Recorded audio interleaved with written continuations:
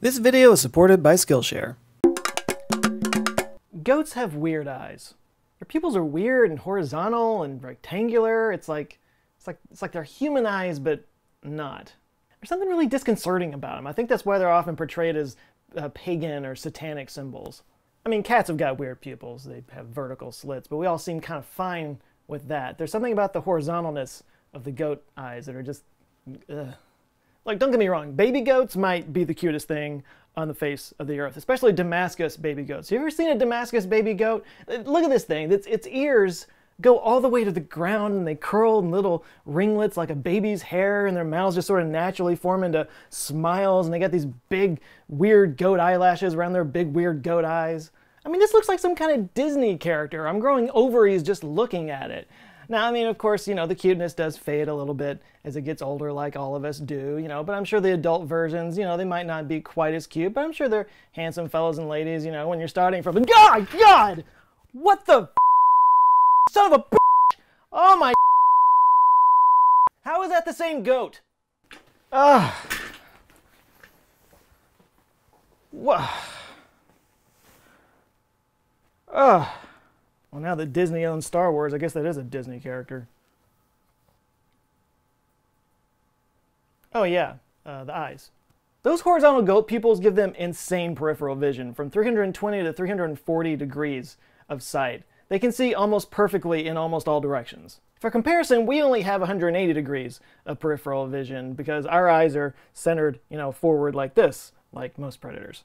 This gives us excellent depth perception, so when we see some prey, we can pounce on it. But goats, like most ungulates, have eyes on the side of their head so they can see predators coming from all directions, and those horizontal pupils give them almost perfect clarity so that everything's in focus all the way around. Of course, that comes at the price of their binocular vision. They only get about 20 degrees of that ahead of them, but luckily for them, what they eat, grass, doesn't exactly run away from them. So goat's eyes allow them to take a constant survey of the area around them so they can see any changes in their environment. It's a good survival strategy. And that's also the strategy of TESS, the Transiting Exoplanet Survey Satellite, constantly scanning the universe for signs of habitable planets. And that is how an eyeball can lead to a much bigger uni- God!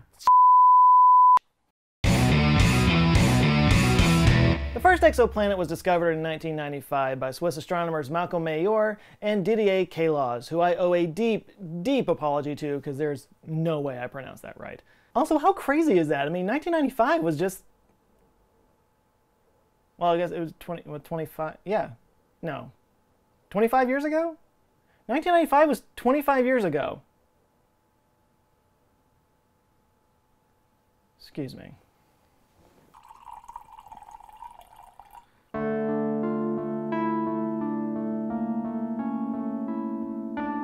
It went by the name 51 Pegasi b, and it was discovered by a process known as Doppler spectroscopy. Basically, they observed a wobble in the star 51 Pegasi, and after mathing the out of it, they were able to ascertain that it was probably caused by a large planet-like body. Since then, hundreds of planets have been discovered using the Doppler technique, but far more have been discovered using something called transit photometry. When a planet passes in front of its star, the star briefly appears to dim. By measuring the change of intensity of light from a given star over time, astronomers can deduce the presence of one or more planets orbiting that star. Several Earth-based telescopes use transit photometry, including the UK's Wide-Angle Search for Planets, or WASP, which has been the most successful, with more than 150 exoplanets discovered so far. France's CoRoT telescope was the first to discover an exoplanet from space, and also the first to observe a rocky Earth-like exoplanet. But the undisputed king of exoplanet discovery is NASA's Kepler Space Telescope. In fact, more than half of all exoplanets we've found have been found by Kepler. Kepler was a freaking beast. It survived several different critical system failures and just kept on going and was eventually finally retired in October of 2018, although scientists are still crunching the data from Kepler and making discoveries to this day. So how do you top that? With a giant goat eye in the sky. TESS, the Transiting Exoplanet Survey Satellite, was launched in April of 2018 with the goal of observing large sectors of the night sky at a time, rather than just targeting one particular area. That's the survey part of its name. Astronomers think TESS could find as many as 20,000 exoplanets. At the time of this video, close to 1,600 exoplanet candidates have been found by TESS, with 37 of them confirmed. There are less than six months left in TESS's initial two-year mission, but the satellite is in such good shape, NASA's decided to extend it through 2022. Now one thing that's interesting about TESS is it's not really designed to confirm exoplanets. It's designed to find exoplanet candidates that are then later confirmed by other satellites. One of those is actually the James Webb Space Telescope. TESS is going to find a whole bunch of planet candidates, and then James Webb will go and focus on them when it goes up in 2021, God willing. In fact, TESS is spending extra time looking at parts of the sky that the JWST can look at year round so they can actually uh, have more opportunity to find planets in those areas. So if you can imagine all the stars printed on the inside of a celestial globe with us in the middle, uh, TESS is actually focusing on the north and the south poles of that globe. TESS spent its first 351 days focused around the South Pole in the constellation Dorado. Right now it's spending another 351 days observing the North Pole in the Draco constellation. Surveying nearly the entire sky is a hugely ambitious project, and by the end of its initial mission, it will observe over a half a million stars. And each of these observations are made in full-frame photographs that downloads every 30 minutes. So, will TESS be able to find all the exoplanets out there? Uh, no, not even, not even close. Transit photometry is great and it's been super successful, but it can only find planets that are lined up along the plane of the orbit with their stars. I need a way to show this. If only I had like a Tron disk. Yeah, so imagine this is a star. And this is the orbit of the planets going around the star. And you are looking from Earth. So uh, imagine you're on Earth. So in order for this technique to work, the plane of the planets has to line up exactly with you. If it's off by even just a few degrees, we would miss it completely. There's like 179 degrees that we would miss. So there's only a very small percentage of planets that we could actually see with this method, which makes the fact that we've caught so many of them this way even more impressive. I mean, that just gives you a small idea of just how many exoplanets there are out there. Back to the shelf with you. That Tron disc, by the way, is symbolic of one of the most ardent supporters I've had on Patreon for the longest time, Matt Herring, so thanks, Matt. So to notice a transit, TESS has to benchmark a star's brightness and then watch it for a period of time, usually about 27 days. And then it moves on to the next sector. There's 26 of them total. Now compare this to the Hubble Deep Field, which focused on a tiny little patch of the sky for a very, very long period of time and allowing, you know, photons from many billions of years ago to come in and see these galaxies that were really far away. Hubble, by the way, can take exposures for up to 22 days, but in total it takes more than 50 days to do that because it rotates around the Earth 15 times every single day, so it can only do a certain number of hours per passage. Now TESS gets around this by operating at a much higher orbit. It takes 13.7 days for it to orbit the Earth. Now orbital periods also limit the number of planets that we might find with TESS because it can only watch a patch of sky for 27 days. Now Mercury, by contrast, takes 88 days to orbit the Sun. And that's the shortest orbital period in our system, so if TESS were watching us from a distant star, chances are they probably wouldn't have no idea we were here. But that's probably not a huge handicap for TESS. There are still plenty of star-hugging planets out there. In fact, the average orbital period for the planets that it's found is 13 days. In fact, TESS and other exoplanet surveys have given plenty of reason to think that we might actually be the outlier in our universe. It kind of gives more oomph to the rare Earth hypothesis theory. Now, another thing about TESS is that it's actually fairly expensive. It's about half the cost of Kepler, and most of that came from the US government, but 2.5 million of it came from the Massachusetts Institute of Technology. MIT scientists have been heavily involved with TESS from the beginning. In fact, the TESS science team includes three MIT astronomers and one from Harvard. And the resumes from this team are, uh, what's the word? Impressive. Take, for example, Deputy Science Director Sarah Seager, PhD. She worked on TESS, OSIRIS-REx, the Spitzer Space Telescope, Kepler, and the James Webb Space Telescope. And somewhere in there, she may have slept, but I can't be sure. Professor Seager was actually kind enough to answer some of our questions over email about the TESS project, and when we asked her why there's only been 37 exoplanets confirmed so far, she had this to say. In the short term, we are only searching relatively bright stars for planet candidates. She goes on to say, it takes time to go through all the data. It's fair to say the TESS community has not searched through all the data, particularly the fainter stars. Recall there are far more fainter stars than bright ones. Now when it comes to the estimates of how many planets we might find with TESS, some of those initial estimates were based on simulations that were run before the final mission parameters were set in stone. And they could redo those, but that would require running new simulations, and according to the professor, quote, it's too early to embrace a more conservative estimate. We're too busy finding planets to do that for the time being. Well played. So what kind of discoveries has TESS made? Well, it actually started making discoveries before it officially began its mission. On July 25, 2018, it recorded a video of comet C2018N1 orbiting the Sun 29 million miles from Earth, and that was when it was just testing its cameras. Following that, it discovered a rocky super-Earth, LHS 3844b, which once upon a time so-called terrestrial worlds were thought to be less common in the Milky Way than we think they are now. TESS is adding to that catalog while also locating several gas giants on the scale of Jupiter and Neptune. In fact, it found three potentially rocky exoplanets all huddled up close to star L9859, but all three were too close to be in the star's habitable zone. Exoplanet GJ357d is a potentially habitable world discovered by ground-based telescopes after TESS called attention to it. That same system also had two fast hot worlds, so a potentially habitable one was a bonus. One of the really cool things we caught with TESS was a supermassive black hole devouring a star about the size of our sun in the Volans constellation in January of 2019. This specific type of star shredding is called a tidal disruption event. Something like this is thought to occur in the Milky Way only once every 10 to 100,000 years.